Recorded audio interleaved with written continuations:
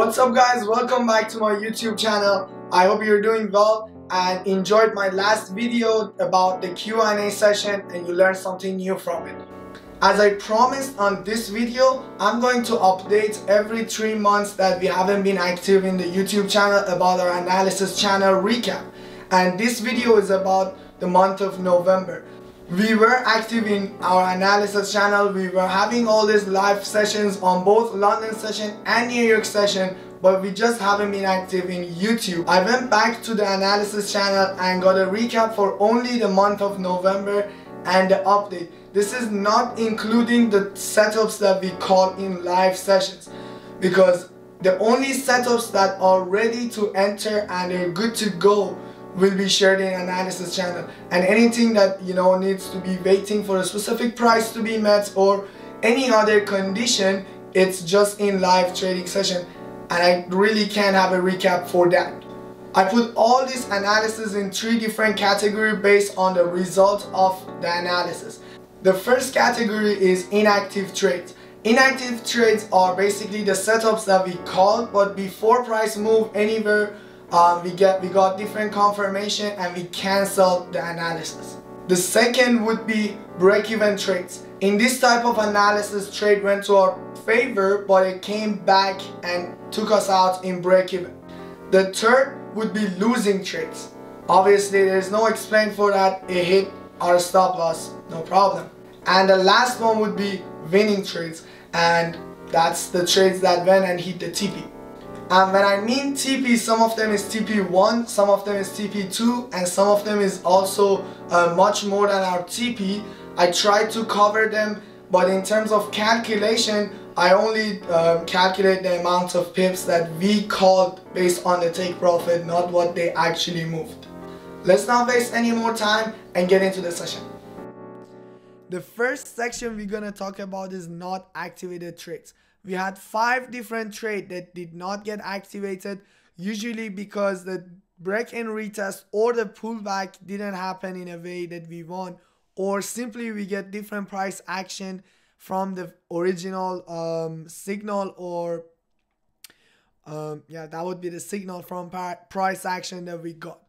The second would be break-even trades. We had four break-even trades that passed more than what we reached so it allowed us to go break even but anyway didn't reach the TP and came back to the entry.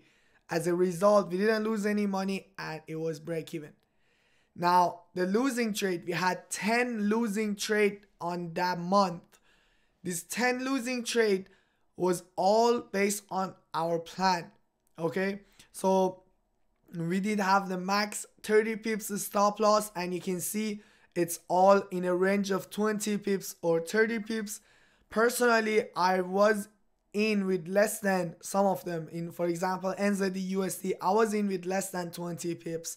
But to keep it safe in our analysis channel we um, set it in about 20 pips. Uh, something to learn here. First of all losses are the lessons. So as long as we learn something new to help us have a better um, analysis or a better entry, it's all good. Second, the win should be more than losses. So if we win bigger than our losses, again, 10 loss is no problem. And the third thing that is very important here is the fact that we stick to our limits, which is 30 pips stop loss, and we never go over it. Even in a USD ZAR trade, we try to stick to the equivalent of 30 pips, which was 300 pips. And yeah, that's pretty much it for um, losing trade. Uh, personally, on some of these trade like this NZD USD, I got in with less than 20 pips. But what we said was 20 pips because uh, keeping, keeping it safe a little bit. Now, the winning trades. Um, the first one would be AUD USD. Um, I saw this seller's trap up here start of the week, and then we had a we had our analysis that price gonna reach that high with 90 pips. Um, TP price reached that area um, by midweek. But overall, by the time that I'm recording this video right now, which is in February, um, price is already up 490 pips. why I put it there to show you our analysis can become a swing trading too. But um, because I'm not a swing trader and I don't hold trade that long, um, I don't really mention it. But yeah, it's all there. The next one would be a USD JPY trade that Neo called and Euro CHF trade that was called by Elvin in our analysis channel. Um, the Euro CHF hit the TP of 130 pips. After the seller's trap on macro, we had one single candle that did most of the job. And also in USD JPY up here, we had 190 pip take profit that was hit. A very good trade this one. And I'll show you in the next slide that um, we took this 190 pip to the upside and then Price went into consolidation, as you can see here, formed a signature trade, stop on the high, and then shift from that high. We got all the confirmation we needed on lower time frame, and we called the sell right in um, live trading session, and TP 460 pip was hit. Again, I'm not a swing trader, so I personally got in here and closed on Friday got in again on Tuesday and closed on Wednesday. So it's really depend on how you manage it, but the analysis was sent prior to the setup. We had GBP AUD. This one was a macro induction trade. It took only, uh, it went all the way to TP2 only, which was 160 pips. The next one we have USD, um, NZD USD and AUD USD. Uh, we call these two trades separately, one by me, one by Neil, but uh, both of them played out up to TP1, 50 pips on each, total of 100 pips on these two. And we have Euro GBP. This one also was a 75 pip move. Um, macro induction again on this one.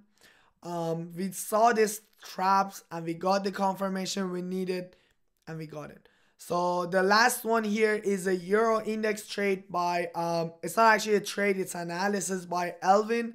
He is really working on this index pretty hard.